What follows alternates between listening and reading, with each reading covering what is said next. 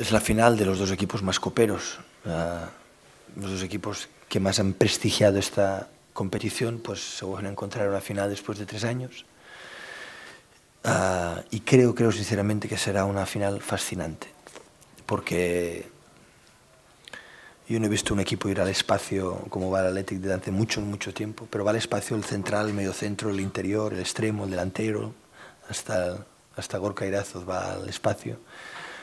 Uh, te van a buscar, nosotros les iremos a buscar, será un partido intuyo a día de hoy, si los dos llegan bien será una final muy muy bonita para el espectador y que prestigiará mucho la competición.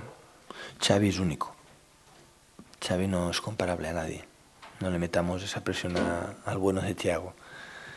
Uh, Thiago es muy muy bueno porque es muy muy atrevido con la edad, tiene una fortaleza física de los brasileños que se nota. Es muy potente en el juego aéreo, tiene buen despliegue físico y luego tiene lo que siempre he comentado. No sé dónde han sacado estos chicos el atrevimiento para en zonas peligrosas, driblan, se van, juegan. Uh, si hay un jugador que se adorna cero es Messi. Porque Messi cuando tiene el balón, él piensa dónde está, dice dónde está la portería allí y voy para allá. Uh, no lo he visto hacer nunca una bicicleta, no lo he visto nunca hacer un copetacón poquísimas veces. Él es lo más práctico.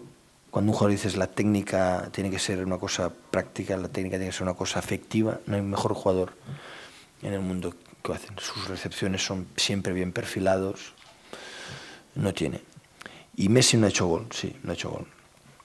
Pero es que este chico uh, no sé cuántas asistencias da por partido y no sé cuántas veces se queda por delante el partido.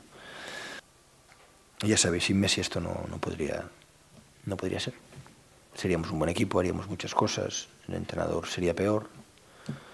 Messi nos da, somos un equipo muy competitivo, muchos jugadores, pero él nos da el salto de calidad.